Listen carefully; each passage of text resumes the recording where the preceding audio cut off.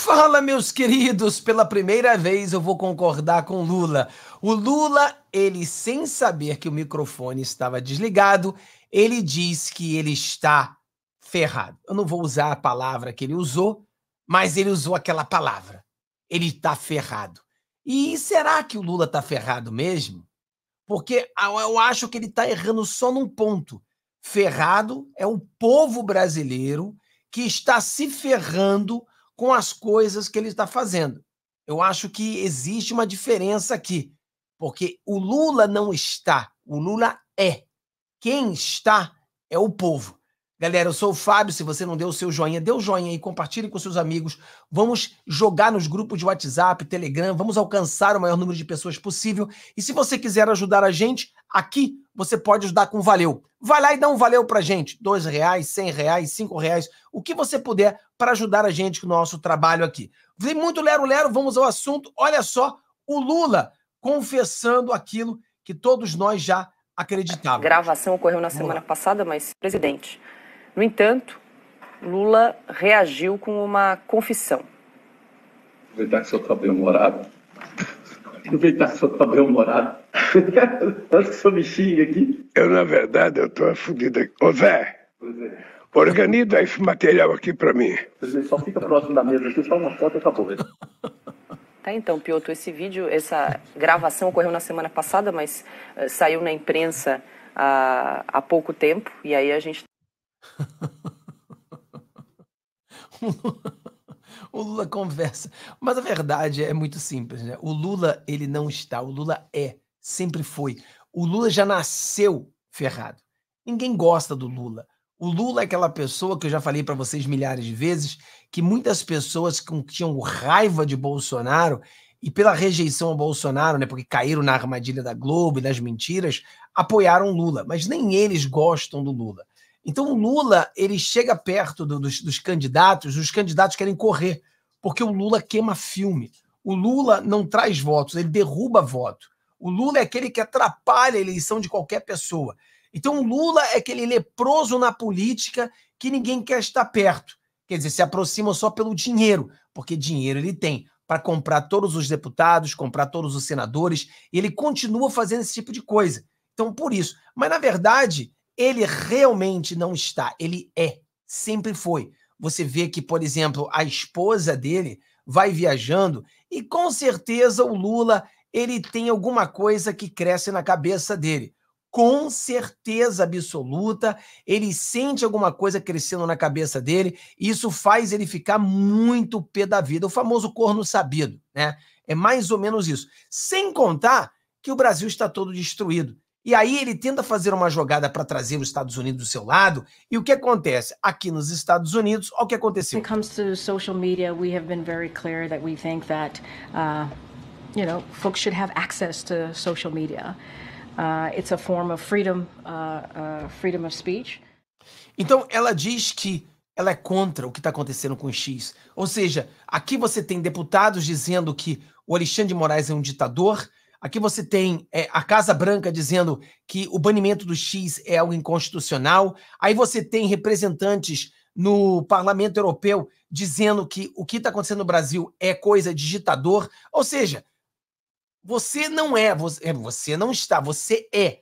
Porque quem está se ferrando agora é o povo. O povo não tem trabalho, o povo não tem mais emprego, o povo está sendo tendo dinheiro roubado. Lula está roubando o dinheiro das pessoas. As pessoas que esqueceram dinheiro, o Lula está roubando esse dinheiro. O Lula está roubando terras ou querendo roubar terras. Estão inventando uma história de que se houve incêndio na tua terra, incêndio legal, eles querem roubar a terra. Ou seja, o Lula roubar o dinheiro das pessoas, roubar as terras das pessoas, Hoje, nós temos muito mais incêndios do que tínhamos quando era o Bolsonaro, ou seja, estamos ferrados. Hoje, nós temos muito mais índios morrendo do que morreram na época do Bolsonaro. O que, que... Então, nós estamos ferrados. Olha essa matéria aqui. Vamos lá, vamos lá.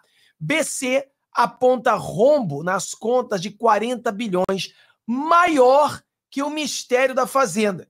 Divergências sobre o tamanho do rombo fiscal foram reforçadas após a aprovação do projeto de desoneração da folha. Uma divergência. Então, o Fazenda, né? O pessoal da Fazenda diz que foi um tanto e o Banco Central diz que foi outro. Estão escondendo o, rão, o rombo do povo. O não somente está arrombando o Brasil, não somente está estuprando o Brasil, mas está querendo esconder esse estupro colocou um carinha lá no IBGE para inventar uns números para gente também, sobre inflação, sobre A, sobre B, tudo número inventado, igual na Argentina. Você sabe que foi descoberto que na Argentina eles inventaram. No Brasil, eles fazem de uma forma mais difícil. Já viu que o Brasil ele faz de uma forma mais difícil das pessoas descobrirem.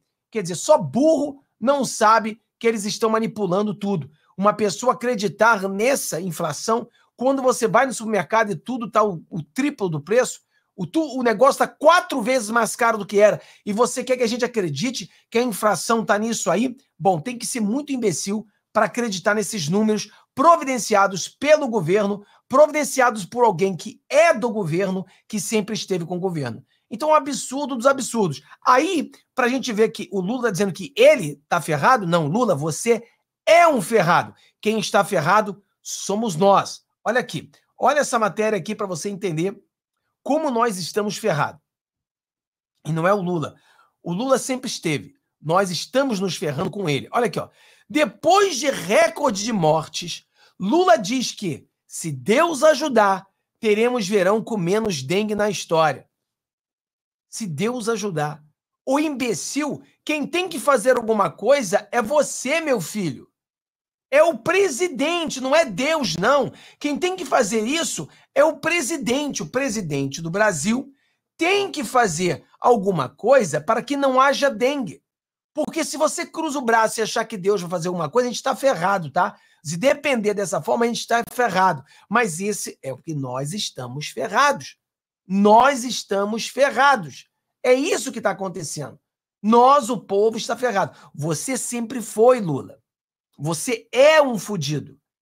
Quem está se ferrando é o povo. Porque o povo está passando necessidade. O povo não tem dinheiro.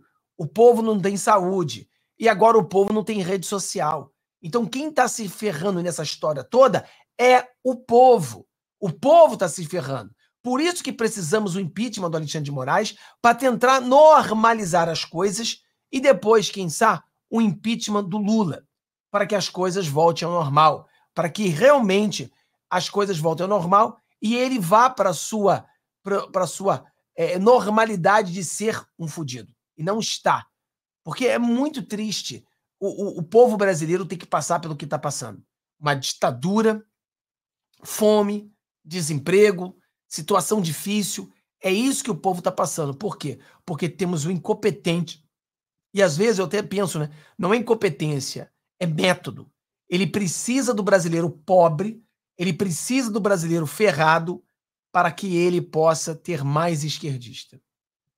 Ele precisa criar dependente. O governo Lula é igual um traficante de drogas. Ele precisa criar os dependentes. O dependente da droga sempre vai buscar o cara pelas drogas. Então ele precisa criar o dependente do Estado.